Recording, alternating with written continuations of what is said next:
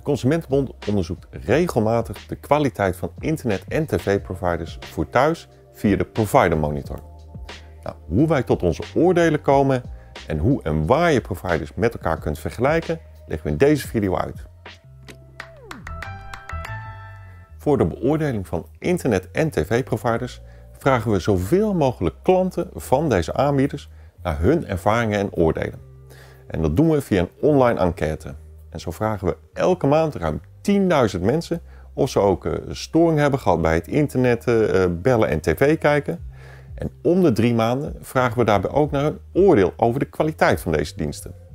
Maar we vragen ze bijvoorbeeld ook of ze hebben overwogen om over te stappen naar een andere provider of wat ze van de klantenservice vonden. We meten dus niet zelf of het internet wel snel genoeg is of dat er storingen zijn geweest bij een provider. We baseren het op de ervaringen van hun klanten zelf. Maar daarvoor moeten we wel het oordeel van minstens 75 klanten per provider hebben, zodat we een betrouwbaar eindoordeel kunnen bepalen.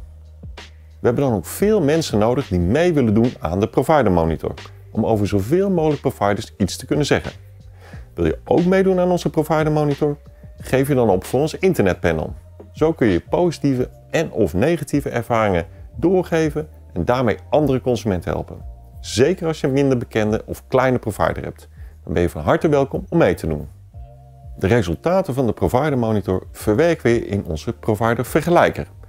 Met deze vergelijker kun je de verschillende abonnementen en providers op jouw huisadres vergelijken. Bijvoorbeeld op prijs, internetsnelheid, uh, tv-opties en de kwaliteit van deze diensten.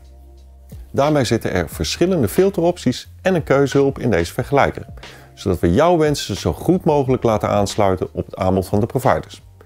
En mocht je gelijk ook willen overstappen, dan kan dat ook. We helpen je om de stappen in de goede volgorde te doorlopen. Wil je weten welke provider nu als beste uit onze test komt? Kijk dan op onze website. Daar vind je ook nog allerlei tips, uh, bijvoorbeeld hoe je thuis je internet kunt versnellen of hoe je 4K-tv kunt kijken.